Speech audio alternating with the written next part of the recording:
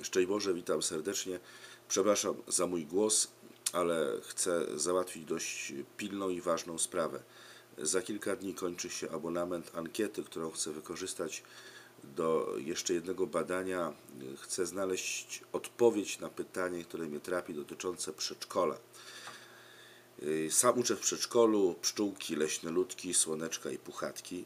I w każdej mojej grupie są dzieci, które są pierwszy raz w przedszkolu, pierwszy rok w przedszkolu i są dzieci, które są drugi rok w przedszkolu. Są dzieci, które pierwszy rok mają ze mną katechezę i są dzieci, które miały ze mną katechezę już przed rokiem.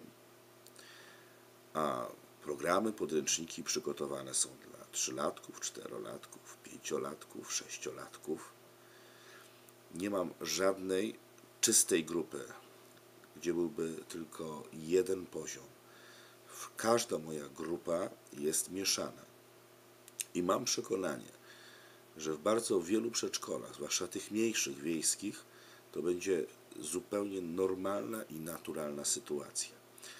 Ale nie chcę tego opierać tylko na swoim mniemaniu i przypuszczeniach, ale chcę znaleźć i mieć dowód, odpowiedź, Twoją odpowiedź w tej ankiecie. Jeśli uczysz w przedszkolu, daj mi odpowiedź na to pytanie. Jeśli tylko będziesz jeszcze mógł odpowiedzi na kilka innych pytań, które zadaję Ci w ankiecie, której, którą znajdziesz poniżej tego filmu.